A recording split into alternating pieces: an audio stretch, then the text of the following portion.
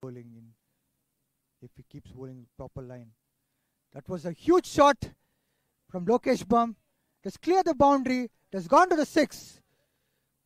What a terrific player, Lokesh Bam. It's the second six of the match This was Lokesh Bam.